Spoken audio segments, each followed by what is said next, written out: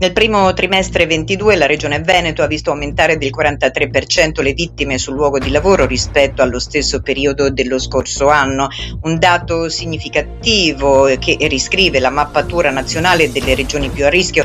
Nei primi tre mesi si sono registrati 20 decessi sul lavoro, 13 durante l'orario di impiego, 7 avvenuti nel tragitto casa-azienda. Nel 2021 le morti registrate al 31 marzo erano 14. Con questi numeri il Veneto occupa la terza posizione nella graduatoria storia nazionale per numero di decessi, 183.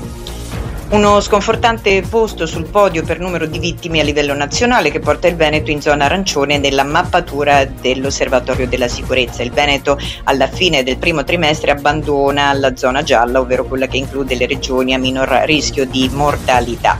Utilizziamo l'indice di incidenza mortalità perché è lo strumento di indagine più efficace per spiegare l'emergenza, sottolinea Mauro Rossato, presidente dell'Osservatorio di sicurezza di Mestre.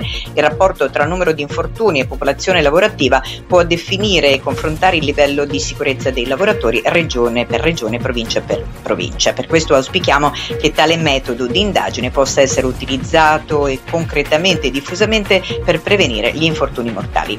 Per agevolare la lettura dei dati dati, l'Osservatorio Mestrino ha ideato ed elaborato la mappatura del rischio di morte sul lavoro, dividendo l'Italia a colori, proprio alla stregua della mappatura utilizzata durante l'emergenza.